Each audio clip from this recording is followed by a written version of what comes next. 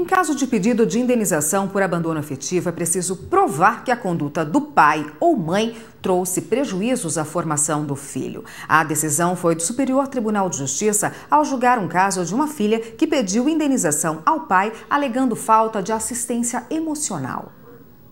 Quando uma criança nasce, a primeira providência legal que tem que ser tomada é o registro de nascimento. Mas existem casos em que, mesmo reconhecendo legalmente o filho, o pai ou a mãe não participam da vida dele. Essa mulher, que prefere não se identificar, tentou estabelecer um vínculo entre sua filha e o pai biológico, mas não teve sucesso. Depois que a neném nasceu, ele não estabeleceu um vínculo com a criança e, e também se afastou de mim.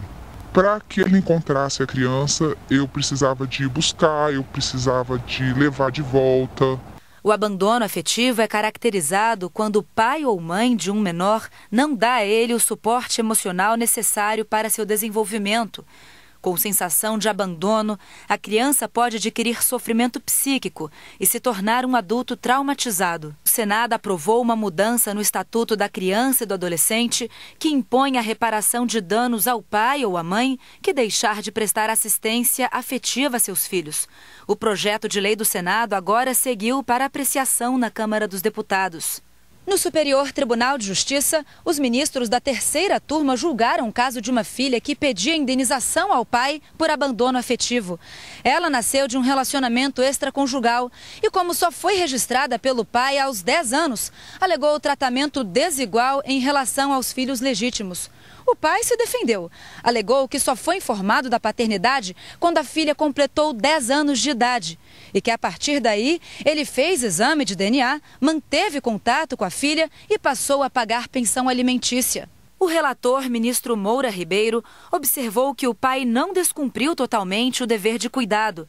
Existia contato entre eles, além do pagamento de auxílio para educação e saúde. O pedido de indenização foi negado e o ministro ainda ressaltou que, no caso de indenização por abandono afetivo, é preciso provar que a conduta do acusado trouxe reais prejuízos à formação do indivíduo.